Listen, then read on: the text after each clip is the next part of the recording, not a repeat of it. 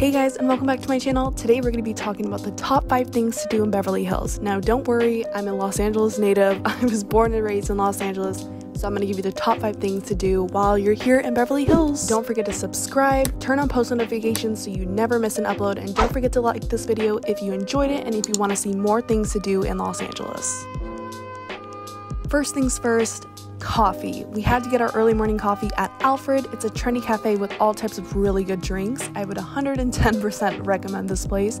Grabbing your drink from Alfred since it's really close to all the locations that I'll be talking about today. And yeah, we just had to get our delicious coffee from Alfred. Yum. Starting with number one, you're gonna head to Beverly Drive. Now, this street specifically that we're filming is South Beverly Drive. There's delicious restaurants, cafes, and a couple of shops things to do you can just walk down the street up and down. It's not as popular as rodeo drive which i'll be talking about soon but it is kind of like a must do when you're here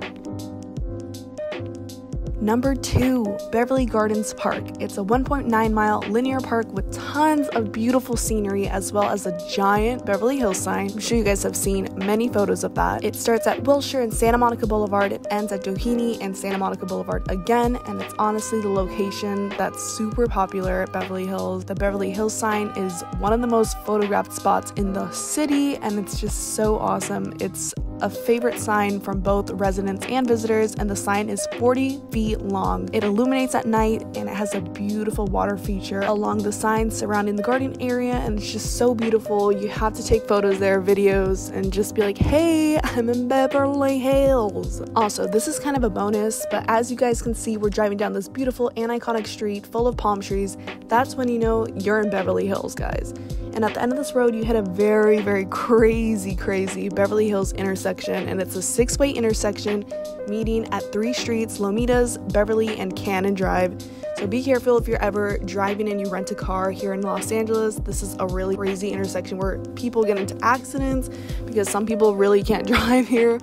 Um, so it's a really crazy intersection. This is the crazy intersection, guys. Pretty much everyone here can drive. So like this one. We love it. hey, this is another park, Will Rogers. It's pretty fun. Also, this is another bonus. Checking out the Beverly Hills Hotel. You can go in, check out the lobby. I think we've been there like one time just to check out the lobby. We haven't stayed there yet, but we definitely will. And of course, we'll have to document it for you guys, but it's definitely really cool. The sign is iconic, and just to take a picture of the sign is really cool. So if you are driving, please pay attention because Beverly Hills has the most cameras like literally on every street. So be careful. Number three, of course, is Rodeo Drive. I'm sure you guys have all heard of this place. It's one of the most famous places in the world. Rodeo Drive is literally one of the most luxurious destinations to be. There's tons of shopping and dining to choose from. And whether you want to take a stroll and window shop or spend all your money on some of the most expensive stores, it's the place you have to be when you visit Beverly Hills. So definitely Rodeo Drive is a must see on your trip in Beverly Hills. It's very iconic, featured in many movies and TV shows so definitely take a stroll down Rodeo Drive.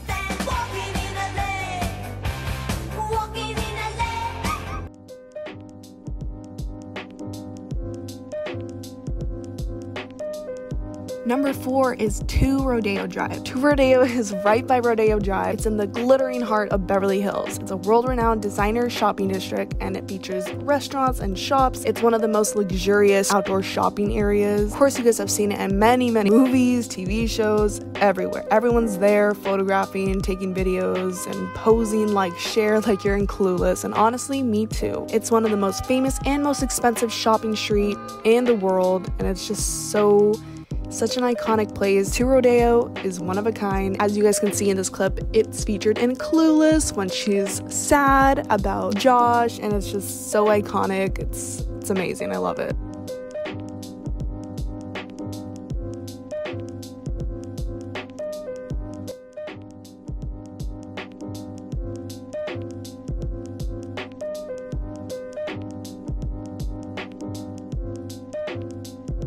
Also, this is another quick bonus. This is the Beverly Wilshire, a Four Seasons hotel, and it was featured in the movie Pretty Woman.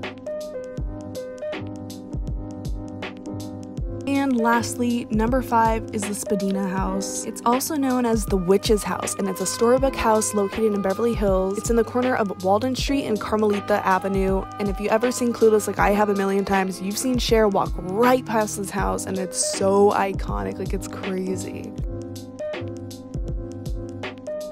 I just did a video just on the house. I'll put that in the description box. It's so beautiful. Oh my gosh, I'm gonna live here so bad. Um, but giving you guys a little bit of history about the house is that it was designed by a Hollywood art director, Harry Oliver, and it was originally built in 1921. It was in a movie studio lot, but now it is a private residence. They couldn't find a buyer to, you know, obviously buy the house, but then Michael Libow, a real estate agent, actually did not want to see the home demolished. And of course, I wouldn't either. This is an iconic house. He ended up purchasing it and made a whole renovation for it. It's so beautiful. It's so freaking cool. I want to live there so bad. I'm like, Michael Libow, bro, let me buy that house from you. Um, but it's so awesome. Definitely check it out. It takes some cool shots. It's really a, a beautiful, beautiful house. Look at it. Theming is on point, guys. Look at that.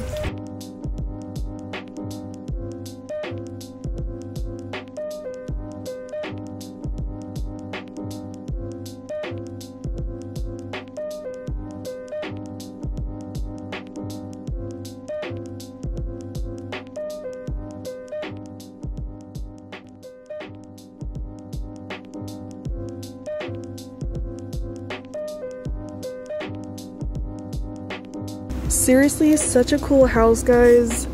Definitely check it up if you're, check it up, check it out if you're in the Beverly Hills area. Oh my gosh.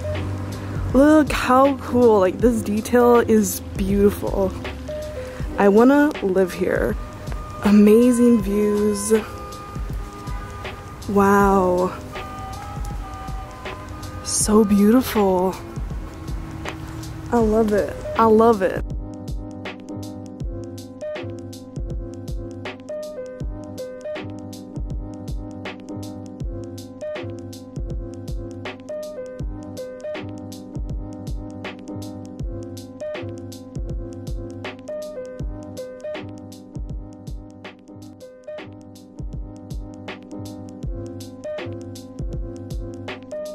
12 out of 10.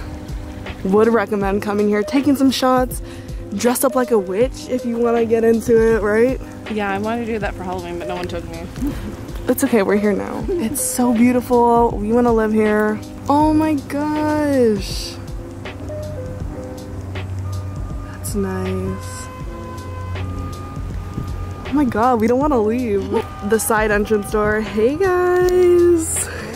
And that is it, the top five things to do in Beverly Hills. I really hope you guys get to check out these five top locations when you come down to Los Angeles, specifically Beverly Hills. And if you guys enjoyed this video, please, please give this video a thumbs up if you enjoyed it and don't forget to subscribe.